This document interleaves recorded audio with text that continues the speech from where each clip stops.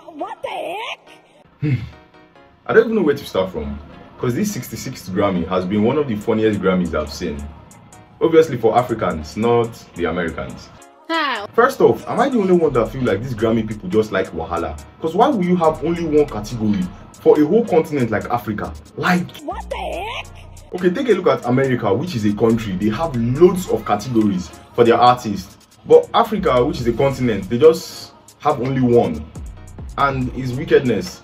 Please, Grammy, note this and add more categories for this African artist.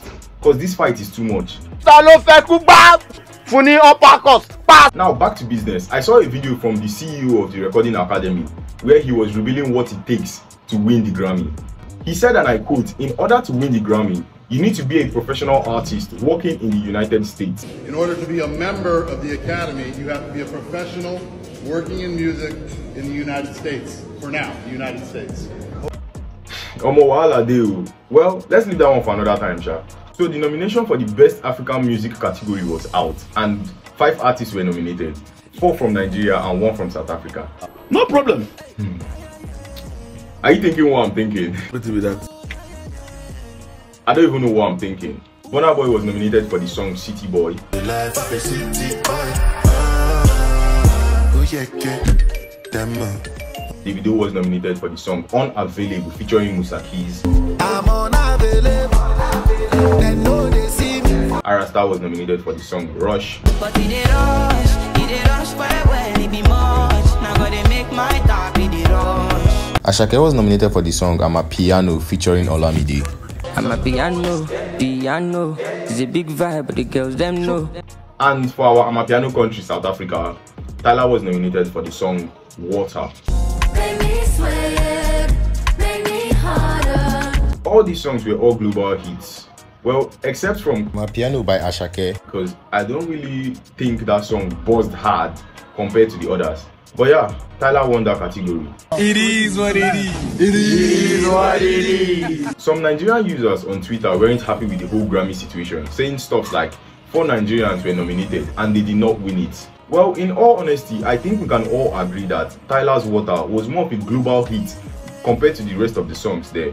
Don't get me wrong, City Boy, Unavailable, Rush, the rest of them, they were good songs. But Tyla Water gave this insane buzz, which I think was what the Recording Academy was looking after. So? In fact, my ranking for that category, I would say My Piano by Asake. at fifth, Rush by Arastab at fourth, Davido is unavailable at third, City Boy by Burna Boy at second, and Water by Tyla at first. This ranking I give now is just based on which was a global hit song, not based on streams and other things. So please don't fight me. I don't want peace. I want problems always. But yeah, let me know your own ranking based on who which was a global hit song in the comment section too. Now Tyla won it, and all I can say is It is what it is. It is what it is. But the only problem I have with the recording academy is why will you be playing Fela Kuti's Water when Tyla won? Like, are you that clueless? Water. Tyla.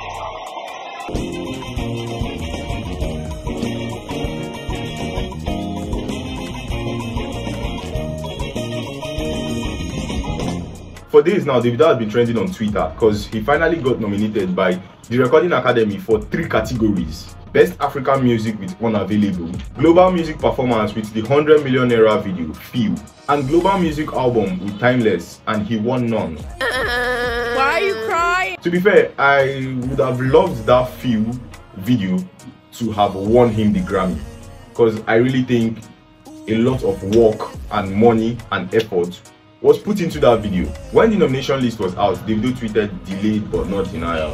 And that is what the internet has been dragging him for days for. Some people even went along to say Davido was used. A whole OBO. Please let's all calm down, calm down, calm down, calm down. they used, you know, David heavily to promote their platform.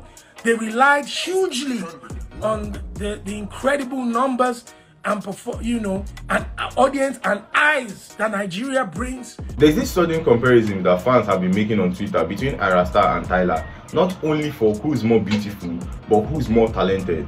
And I'm here to say, can we just all enjoy both of them without comparing them? that sounded way better in my head.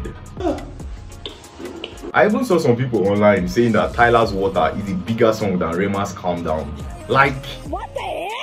Can you all just chill so you don't start what you can't finish?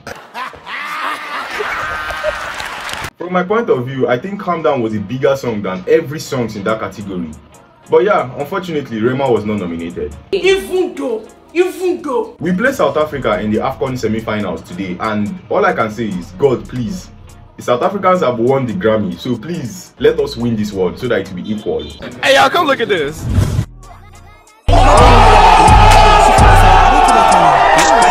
Overall, this Grammy is a big win to South Africa and Africa at large. So in summary, all I can say is, let love lead.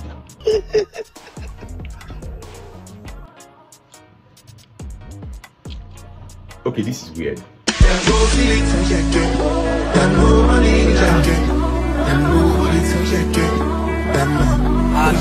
pé